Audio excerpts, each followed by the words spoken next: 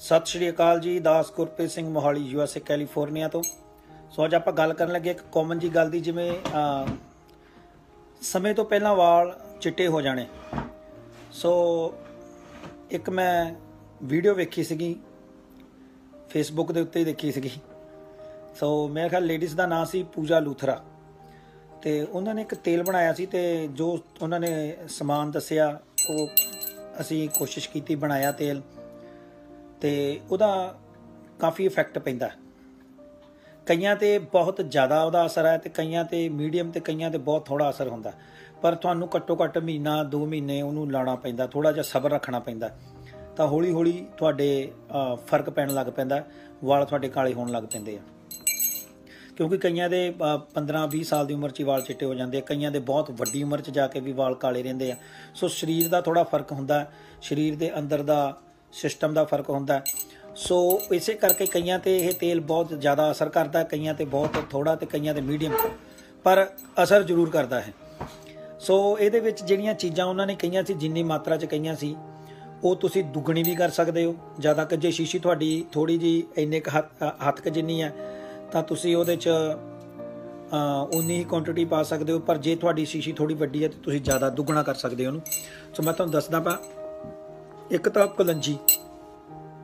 ਕਲੰਜੀ ਜਿਹੜੀ ਆਪਾਂ ਆਮ ਕਰਕੇ ਅਚਾਰ 'ਚ ਵਰਤਦੇ ਆ, ਉਹਨੂੰ ਲੈ ਲੈਣਾ ਕਾ- ਇਹ ਕਾਲੇ ਰੰਗ ਦੀ ਹੁੰਦੀ ਹੈ ਜੀ। ਤੇ ਇਹਨੂੰ ਤੁਸੀਂ ਪੀਸ ਕੇ ਪਾਊਡਰ ਬਣਾ ਲੈਣਾ ਜੀ। ਉਸ ਤੋਂ ਬਾਅਦ ਤੇਲ ਲੈਣੇ ਕਾਲੇ, ਜਾਂ ਚਿੱਟੇ, ਕੋਈ ਵੀ ਤੇਲ ਮਿਲ ਜਾਣ ਤੁਹਾਨੂੰ। ਇਹਨਾਂ ਨੂੰ ਵੀ ਤੁਸੀਂ ਪੀਸ ਲੈਣਾ ਜੀ, ਤੇ ਪੀਸ ਕੇ ਇਹਨਾਂ ਨੂੰ ਵੀ ਵਰਤਣਾ ਪੀਸ ਕੇ। ਉਸ ਤੋਂ ਬਾਅਦ ਆਪਾਂ ਆਂਵਲੇ ਲੈਨੇ ਆ। ਆਂਵਲਿਆਂ ਦਾ ਪਾਊਡਰ ਵੀ ਮਿਲ ਜਾਂਦਾ। ਪਰ ਜੇ ਤੁਸੀਂ ਆਪ ਲਿਆ ਕੇ ਪੀਸ ਲਵੋ ਤੇ ਜ਼ਿਆਦਾ ਬੈਟਰ ਆ। ਆਂਵਲੇ ਲੈ ਲੈਣੇ ਆ, ਸੁੱਕੇ ਤੇ ਆਹ ਮੇਥੀ ਦਾਣਾ। ਮੇਥੀ ਦਾਣਾ ਪੀਸ ਕੇ ਇਹਨੂੰ ਵੀ ਪਾਊਡਰ ਬਣਾ ਲੈਣਾ ਜੀ। ਹੁਣ ਇਹਨਾਂ ਸਾਰਿਆਂ ਦੇ ਆਪਾਂ, ਇਹਦੇ ਨਾਲ ਆਪਾਂ ਲੈਣਾ ਜੀ ਅਰੰਡੀ ਦਾ ਤੇਲ।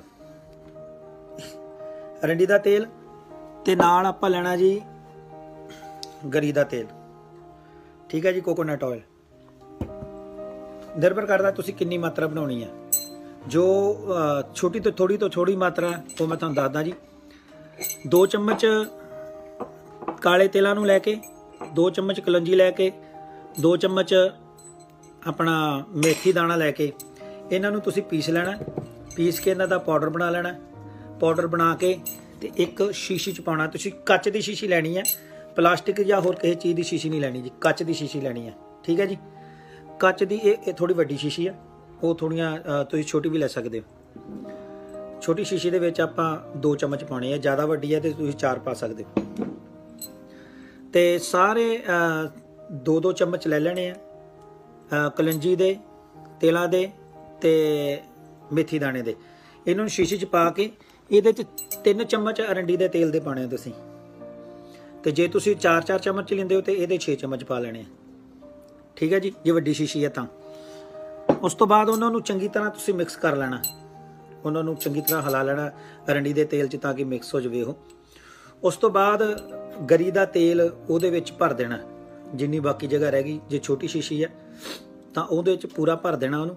ਤੇ ਨਹੀਂ ਤਾਂ ਜੇ ਵੱਡੀ ਸ਼ੀਸ਼ੀ ਹੈ ਤੇ 4 ਚਾਰ ਚਾਰ ਚਮਚ ਪਾ ਕੇ ਰੰਡੀ ਦੇ ਤੇਲ ਦੇ 6 ਚਮਚ ਪਾ ਕੇ ਤੇ ਇਹਨੂੰ ਫਿਰ ਉਹਦੇ ਨਾਲ ਭਰ ਦੇਣਾ ਪੂਰਾ। ਕਿਉਂਕਿ ਇਹ ਸ਼ੀਸ਼ੀ ਵੱਡੀ ਆ, ਆਪਾਂ ਇਹਦੇ 'ਚ 4-4 ਚਮਚ ਪਾਉਣੇ ਆ। ਉਸ ਤੋਂ ਬਾਅਦ ਆਪਾਂ ਇਸ ਨੂੰ ਧੁੱਪੇ ਰੱਖਣਾ। ਤੇਲ ਨੂੰ ਧੁੱਪੇ ਰੱਖ ਕੇ। ਘੱਟੋ ਘੱਟ ਜਿਵੇਂ ਆਪਾਂ ਸਵੇਰੇ ਰੱਖਦੇ ਹਾਂ, ਸ਼ਾਮ ਤੱਕ ਪਿਆ ਰਹਿਣ ਦੇਣਾ, ਸ਼ਾਮੀ ਚੁੱਕ ਕੇ ਉਹਨੂੰ ਅੰਦਰ ਰੱਖ ਲਓ। ਉਸ ਤੋਂ ਬਾਅਦ 8 ਦਿਨ, ਘੱਟੋ ਘੱਟ 8 ਦਿਨ ਉਸ ਨੂੰ ਧੁੱਪੇ ਰੱਖਣਾ ਆ, ਰੋਜ਼ ਸਵੇਰੇ। 8 ਦਿਨਾਂ ਬਾਅਦ ਤੁਸੀਂ ਉਹਨੂੰ ਇਸਤੇਮਾਲ ਕਰਨਾ ਸ਼ੁਰੂ ਕਰਨਾ। ਹੈ। ਤੇ ਇਸਤੇਮਾਲ ਕਰਨ ਲੱਗਿਆ ਤੁਸੀਂ ਉਹਨੂੰ ਸਿੱਧਾ ਡਾਇਰੈਕਟ ਗਰਮ ਨਹੀਂ ਕਰਨਾ, ਕੋਲੀ ਚ ਕੱਢ ਲੈਣਾ 2 ਚਮਚ 2 ਚਮਚ ਕੱਢ ਕੇ ਕੋਲੀ ਦੇ ਵਿੱਚ, ਕਿਸੇ ਵੀ ਕਟੋਰੀ ਚ ਕੱਢ ਲਿਓ, ਕੋਲੀ ਚ ਕੱਢ ਕੇ। ਪਾਣੀ ਦਾ ਇੱਕ ਵੱਡਾ ਬਾਉਲ ਲੈ ਕੇ, ਉਹਨੂੰ ਪਾਣੀ ਨੂੰ ਉਬਾ- ਗਰਮ ਕਰ ਲੈਣਾ ਬੋਇਲ ਕਰ ਲੈਣਾ। ਗਰਮ ਕਰਕੇ ਪਾਣੀ ਤੇ ਉਹਦੇ ਵਿੱਚ ਉਹ ਕੋਲੀ ਰੱਖ ਦੇਣੀ ਹੈ ਕਿਉਂਕਿ ਆਪਾਂ ਉਹਨੂੰ ਗਰਮ ਕਰਨਾ ਤੇਲ ਨੂੰ, ਹਲਕਾ ਗਰਮ ਕੋਸਾ ਕਰਨਾ, ਤੇ ਉਹਨੂੰ ਪਰ ਡਾਇਰੈਕਟ ਅੱਗ ਤੇ ਗਰਮ ਨਹੀਂ ਕਰਨਾ। ਪਾਣੀ ਉਬਾਲ ਕੇ, ਪਾਣੀ ਪਾ ਕੇ ਕਿਸੇ ਭਾਂਡੇ ਦੇ ਵਿੱਚ ਉਹਨੂੰ ਕੋਲੀ 'ਚ ਪਾ ਕੇ ਤੇਲ ਨੂੰ ਤੇ ਉਹ ਕੱਚ ਦੀ ਕੋਲੀ ਨੂੰ ਉਹਦੇ ਵਿੱਚ ਰੱਖ ਦੇਣਾ ਤਾਂ ਕਿ ਉਹ ਹਲਕਾ ਜਿਹਾ ਕੋਸਾ ਹੋ ਜਾਵੇ ਪਾਣੀ ਦੇ ਸੇਕ ਦੇ ਨਾਲ। ਨਾ ਕਿ ਡਾਇਰੈਕਟ ਉਹਨੂੰ ਅੱਗ ਦੇ ਵਿੱਚ ਜਾਂ ਡਾਇਰੈਕਟ ਉਹਨੂੰ ਗਰਮ ਨਹੀਂ ਕਰਨਾ ਕਿਸੇ ਚੀਜ਼ ਨਾਲ। ਉਸ ਤੋਂ ਬਾਅਦ ਉਸ ਤੇਲ ਨੂੰ ਤੁਸੀਂ ਚੰਗੀ ਤਰ੍ਹਾਂ ਆਪਣੇ ਜਿੱਥੇ ਵੀ ਤੁਹਾਨੂੰ ਲੱਗਦਾ ਵੀ ਲਾਉਣਾ, ਲਾ ਕੇ ਉਸ ਤੋਂ ਬਾਅਦ 3 ਘੰਟੇ ਬਾਅਦ ਤੁਸੀਂ ਉਹਨੂੰ ਧੋ ਸਕਦੇ ਹੋ।